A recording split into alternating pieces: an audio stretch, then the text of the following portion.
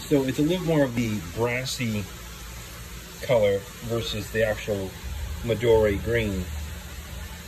But the Ginrin scales on her are fantastic. You see how reflective they are.